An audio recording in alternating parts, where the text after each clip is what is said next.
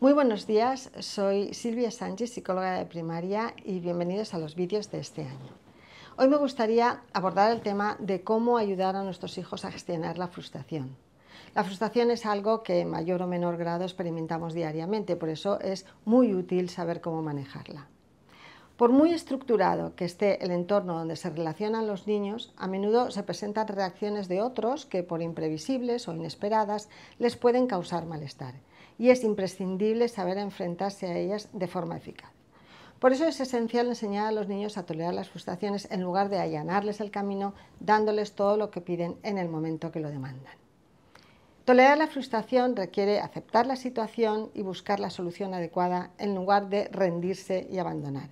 Y esto, en el caso de los niños, vale tanto como para cuando les han quitado un juguete, les han empujado en la fila, les han metido un gol o cuando están haciendo algo que verdaderamente reta su capacidad y no les sale a la primera. No tolerar la frustración es perjudicial tanto para las relaciones sociales como para el éxito académico, además de afectar directamente a su autoestima y su felicidad. Algunos niños son más, resilientes que otros, pero para los que no lo son de manera natural hay una buena noticia y es que la tolerancia a la frustración se aprende con la ayuda adecuada.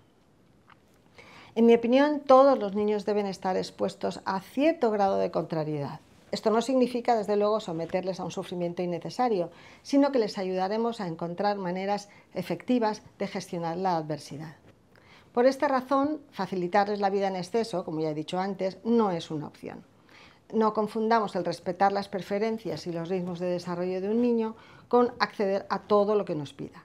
Debemos sacarle de su zona de confort con cautela, haciéndoles enfrentar desafíos y exponiéndoles un poco al fracaso y a la adversidad. Y así lograremos hacer que ellos vean el fracaso como una oportunidad para aprender y mejorar. Ayudarles a generar la frustración significa afrontarla, saber qué emociones les genera y buscar alternativas para resolver el problema.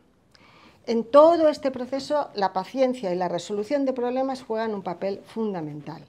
Si queremos entrenar la paciencia en nuestros hijos, deberemos predicar con el ejemplo.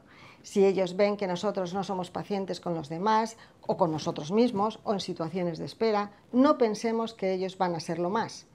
Su cerebro en desarrollo es mucho más impulsivo que el nuestro y nos necesitan para ser capaces de regularse y esperar eh, sin entrar en pánico y retrasar la recompensa.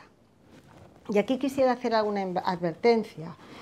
Primero, eh, ojo un poco con el efecto que producen en ello los juegos online o el visionado de vídeos o dibujos infantiles, pero sin supervisión del adulto.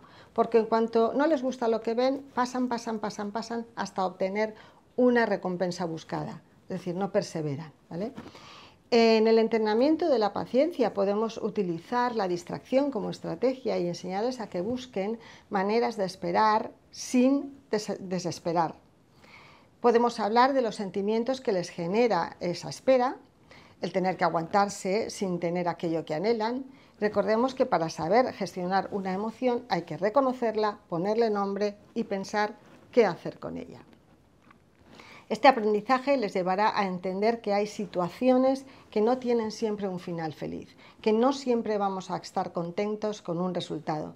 Pero esto no, o sea, en sí no es negativo, sino que les da la oportunidad para gestionar situaciones que no les gustan y hacer esas gestiones cada vez más eficaces.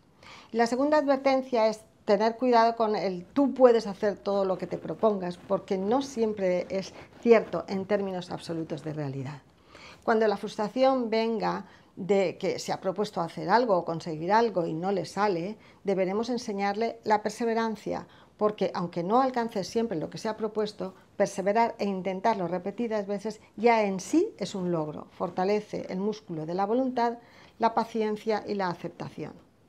Por ello, no debemos poner el acento en el resultado final, sino en el esfuerzo. Otro pilar para fomentar la tolerancia a la frustración, como he dicho antes, es ayudarle a generar varias soluciones a un mismo problema.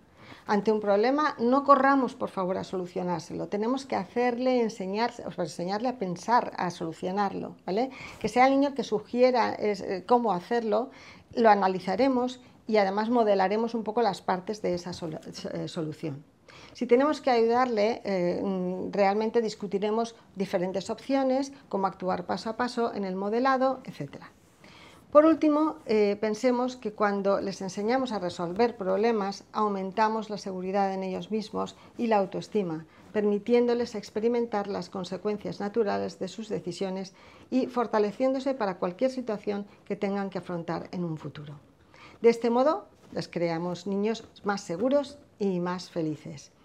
Espero que les haya, eh, les haya gustado el contenido del vídeo y les eh, esperamos de nuevo. Muchísimas gracias por vernos.